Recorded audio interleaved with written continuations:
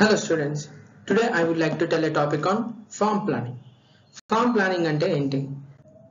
Farm plan a farm plan is a program of the total farm activity drawn up in advance అంటే ఏంటి?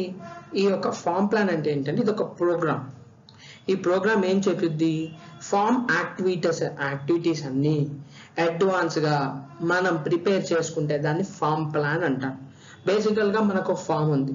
అది దాంట్లో ఏదైనా ఒక క్రాప్ వేయాలనుకుంటున్నాం. ఆ క్రాప్ వేయాలి అనుకుంటున్నప్పుడు మనం ఏం చేస్తాం? అసలు ఏ crop వేయాలనుకుంటున్నాం?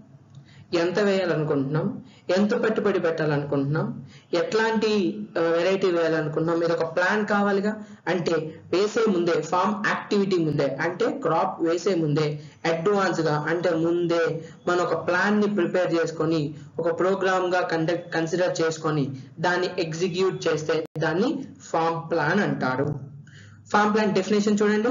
Farm plan can be defined as a deliberate and conscious effort on the part of the farmer to think about the farm programs in advance ఇందాక చెప్పాం కదా డెలిబరేట్ అండ్ కాన్షియస్ ఎఫెక్ట్ డెలిబరేట్గా కాన్షియస్గా కాన్షియస్గా డెలిబరేట్ డెలిబరేట్ అంటే కంటిన్యూస్గా అది తన మనస్ఫూర్తిగా కాన్షియస్గా ఫార్మర్ ఫార్మర్ అనేవాడు థింక్ చేసి తను ఏం చేయాలనుకుంటున్న ప్రోగ్రామ్ని ముందే అడ్వాన్స్గా తనకేం కావాలో చేసి పెట్టుకుంటే దాన్ని ఫార్మ్ ప్లానింగ్ అంటారు.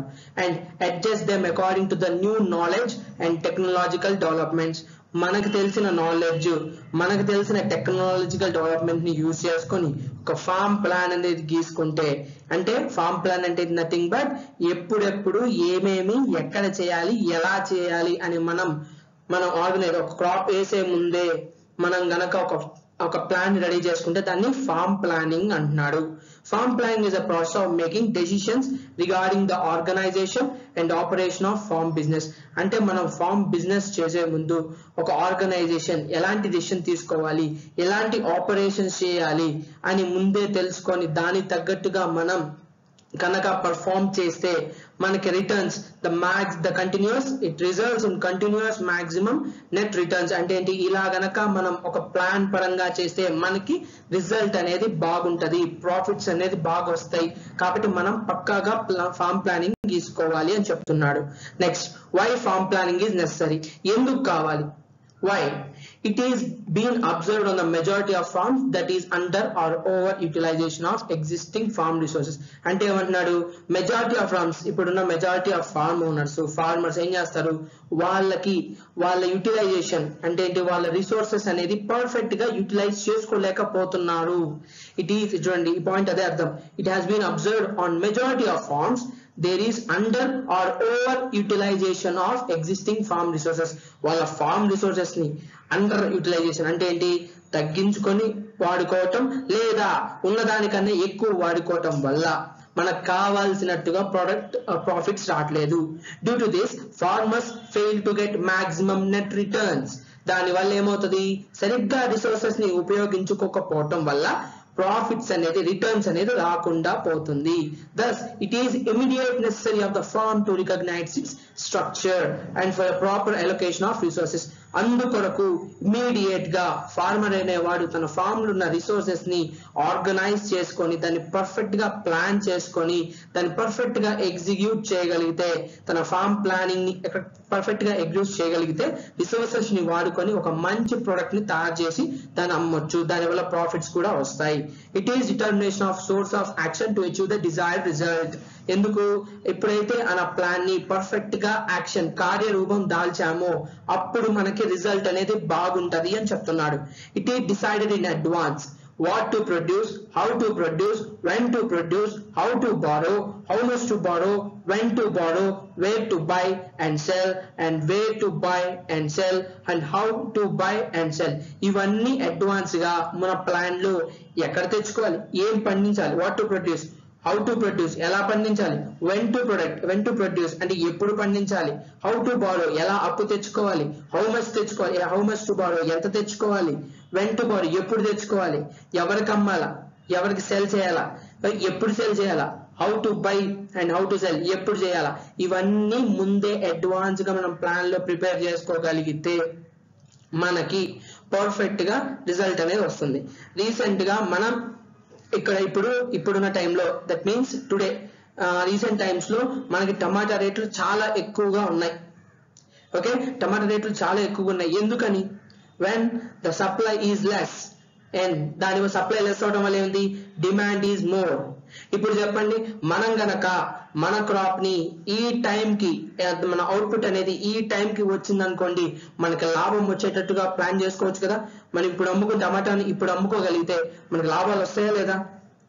దట్స్ వై కరెక్ట్ కాబట్టి ఆ ప్లాన్లో ఇప్పుడున్న ప్లాన్ ప్రకారంగా ఈ టైంలో ఎగ్జాంపుల్గా జూన్ జూలై ఆగస్ట్ ఈ టైంలో మనకి రేట్ టమాటా రేట్లు అనేవి చాలా ఎక్కువగా ఉంటాయి. కాబట్టి దానికన్నా ముందే మనం కనుక క్రాప్ని వేసుకోగలిగితే at the time of June July August maybe ఇప్పుడున్న టైంలో లాస్ట్ టైమ్స్లో కూడా ఇట్లాంటి టైంలో కొంచెం డిమాండ్ అనేది ఎక్కువ ఉంటుంది కాబట్టి ఎప్పుడైతే దాన్ని అమ్ముకుంటామో అప్పుడు మనకి ప్రొడక్ట్ కాస్ట్ ప్రాఫిట్స్ అనేది బాగా వస్తాయని చెప్తున్నాడు. అందుకే way at what to produce? ఎప్పుడు ఎలా అంటే వాట్ టు ప్రొడ్యూస్? ఏం ప్రొడ్యూస్ చేయాలి? How to produce? ఎలా ప్రొడ్యూస్ చేయాలి? When to produce? ఎప్పుడు ప్రొడ్యూస్ చేయాలి? హౌ టు బారో ఎక్కడి నుంచి తెచ్చుకోవాలి? హౌ మచ్ టు బారో ఎంత తెచ్చుకోవాలి? ఇదంతా మనం ముందే ప్లాన్ ప్రిపేర్ చేసుకోగలిగితే మనకి ప్రాఫిట్స్ అనేది వస్తాయి. ఎగ్జాంపుల్గా టమాటో ఎగ్జాంపుల్ చెప్పాను కదా ఇప్పుడున్న సిచ్యువేషన్ ప్రకారం ఇప్పుడున్న సినారియో ప్రకారంగా అట్లా మనం ఫార్మ్ ప్లానింగ్ ప్లానింగ్ కనుక ప్రిపేర్ చేసుకున్నా మనకు ప్రాఫిట్స్ వస్తాయని ఈ టమాటో ఎగ్జాంపుల్ ద్వారా చెప్తున్నాను. Next objectives of farm planning objectives ఏంటి? ఎఫెక్టివ్స్ ఆఫ్ స్కేర్ రిసోర్సెస్ మన దగ్గర ఉన్న రిసోర్సెస్ స్కేల్ స్కేల్ అంటే తక్కువ ఉన్న రిసోర్స్ని ఎలా ఎక్కువగా ఉపయోగించుకోవాలి ఎలా ఆ, అవసరమైనట్టు ఎఫెక్టివ్గా ఎలా ఉపయోగించుకోవాలి అనేది చెప్పిద్ది farm planning selection and combination of different farm enterprises or activities దీంతో పాటు ఏ ఎలాంటి ఎలాంటి ఫార్మ్ ఎంటర్ప్రైజెస్ని సెలెక్ట్ చేసుకోవాలి ఎలా ఎవరితో కంబైన్ అవ్వాలి దాని వల్ల మనకు ప్రాఫిట్స్ ఎప్పుడు వస్తాయి ఎలా వస్తాయి అనేది అదొక objective utilisation of advanced technology advanced టెక్నాలజీని ఉపయోగించుకొని మనం ఫామ్ ప్లానింగ్ ఎలా చేయాలి? Easy and effective management of farm business దాని వల్ల ఏమవుతుంది? ఈజీగా ఉంటుంది. ఎఫెక్టివ్గా బాగా హండ్రెడ్ పర్సెంట్ రిజల్ట్ అనేది ఈ ఫామ్ బిజినెస్ ఈ ఫామ్ ప్లానింగ్ వల్ల హండ్రెడ్ పర్సెంట్ రిజల్ట్ అనేది బాగా వస్తుంది ప్రాఫిట్స్ బాగా వస్తాయి అని చెప్తున్నాడు. Continuous and maximum net returns of farm business మన ఫామ్ అనేది బిజినెస్ బాగుండి కంటిన్యూస్గా maximum net returns net returns అంటే ఏంటి? మనకి ఆదాయం అనేది ఎక్కువ వస్తుంది అని చెప్తున్నాడు. Next characteristics of good farming characteristics ఏంటి చూడండి. It should be provide for effective use of farm resources చెప్పాను కదా effective use of farm resources దీన్ని ఉపయోగించడం వల్ల మనం రిసోర్సెస్ని పర్ఫెక్ట్గా ఉపయోగించుకోగలుగుతాం. హండ్రెడ్ పర్సెంట్ ఉపయోగించుకోగలుగుతాం మన దగ్గర ఉన్న రిసోర్సెస్ని. తర్వాత బ్యాలెన్స్డ్ కాంబినేషన్ ఆఫ్ ఎంటర్ప్రైజెస్ అంటే ఒక ఎవరికి అమ్మాలి ఎంత అమ్మాలి ఒక కాంబినేషన్ ఆఫ్ ఎంటర్ప్రైజెస్ అంటే మన దగ్గర ఉన్న చాలా ఎంటర్ప్రైజెస్ ఉంటాయి కదా.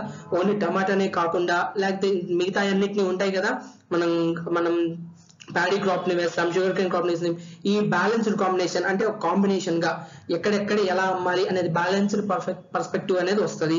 తర్వాత appropriate combination of different crops చెప్పాను కదా డిఫరెంట్ డిఫరెంట్ క్రాప్స్ చేసుకుంటున్నాం ఎప్పుడు ఎప్పుడు ఎప్పుడు హార్వెస్టింగ్ తెచ్చుకోవాలి. అప్రోప్రియేట్ కాంబినేషన్ ఒకదానికి ఒకటి ఏం కాంబైన్ చేసుకొని అమ్ముకోవాలి అనేది తెలుసుద్ది. It should help to maintain improve soil fertility పర్ఫెక్ట్గా ఫ్లామ్ ప్లానింగ్ని చేసుకోగలవడం వల్ల సాయిల్ ఫర్టిలిటీ అనేది పెరుగుద్ది అంటున్నాడు.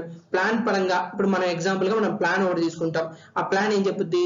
ఇప్పుడు ఎగ్జాంపుల్ కొన్ని క్రాప్స్ ఉంటాయి. ఫర్టిలిటీని పోయే క్రాప్స్ ఉంటాయి. ఫర్టిలిటీ కోల్పోయే క్రాప్స్ ఉంటాయి. అలా కొన్ని క్రాప్స్ ఉంటాయి. ఫర్టిలిటీని గెయిన్ చేసే క్రాప్స్ ఉంటాయి. మన ప్లాన్లో కనుక మన ఒక సంవత్సరంలో ఒక సీజన్ లోనేమో ఫర్టిలిటీ కోల్పోయే క్రాప్స్ని ఇంకో సీజన్లో ఫర్టిలిటీ గెయిన్ చేసే క్రాప్ని యూజ్ చేయడం వల్ల మనకి బ్యాలెన్స్ అయిపోద్ది. అలా బ్యాలెన్స్ అవటం వల్ల నెక్స్ట్ తర్వాత ఇయర్లో మనం ఎప్పుడైతే సాయిల్ అదే మనం క్రాప్ వేస్తామో ఫర్టిలిటీ బాగుంటది అని చెప్తున్నాడు.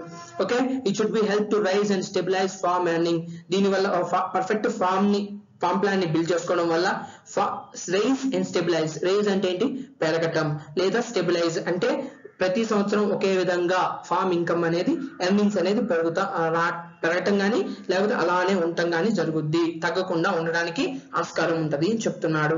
It should avoid excessive risk దీని ఎప్పుడు ఫార్మ్ ప్లానింగ్ చేసుకోవటం వల్ల రిస్క్స్ అనేవి తగ్గిద్ది అని చెప్తున్నాడు. It should provide flexibility flexibility అంటే ఏంటి? మనం ప్రతిసారి కొత్త కొత్త మన ప్రతిసారి ఫామ్ ప్లాన్ వేసుకోవాల్సిన పని ఉండదుగా ఒకసారి వేసుకున్న ఫామ్ ప్లాన్ని ఇంకోసారి టూ త్రీ టైమ్స్గా వాడుకోవచ్చు. దాని యొక్క సిచ్యువేషన్ని బట్టి. ఈ should utilise the farmers knowledge training experience and take into account of the farmers likes and dislikes ఈ ఫార్మర్ తన నాలెడ్జ్ని ట్రైనింగ్ని ఎక్స్పీరియన్స్ని యూజ్ చేసుకొని ఓకే కొంతమంది ఫార్మర్స్ యొక్క లైక్స్ డిస్లైక్స్ని ఉపయోగించుకొని ఫార్మ్ ప్లాన్ని గీసుకోవచ్చు. It should provide up of all up to date modern agriculture methods and practices ఈ ఫార్మ్ ప్లాన్లో ఇంకేమేమి మెజర్ చేస్తుంది? Up to date modern agriculture ఇప్పుడు ఉపయోగిస్తున్న అగ్రికల్చర్ మోడర్న్ అగ్రికల్చర్ నుంచి. పాత తరంలో యూజ్ చేసిన ప్రిమిటివ్ అగ్రికల్చర్ టెక్నిక్స్ దాకా అన్ని ఈ ఫామ్ ప్లాన్లో ఇంక్లూడ్ చేసుకోవచ్చు. ఇట్ షుడ్ గివ్ కండి considerable to effective market facilities ఈ ఫామ్ ప్లాన్ ఎప్పుడైతే తీసుకుంటామో మార్కెట్ ఫెసిలిటీస్ని కూడా మనం దాంట్లోకి ఇంక్లూడ్ చేసుకోవచ్చు. ఒక ఫామ్ ప్లాన్ తీసుకున్నప్పుడు ఎలా తెచ్చుకోవాలి ఎక్కడ నుంచి తెచ్చుకోవాలి ఎక్కడ అమ్ముకోవాలి కూడా మనం పర్ఫెక్ట్గా ప్లాన్లో తీసుకుంటాం కాబట్టి మార్కెట్ ఫెసిలిటీస్ కూడా మనకి ఎఫెక్టివ్గా ఉపయోగపడతాయి అని చెప్తున్నాడు. It should be provide program of obtaining using and repaying the credit ఏంటి? ఎప్పుడైతే మనకి లాభం లాభాలు ఎప్పుడు వస్తాయో మన అప్పుల్ని ఈజీగా మనం రీపే చేసుకోవచ్చు. Okay thank you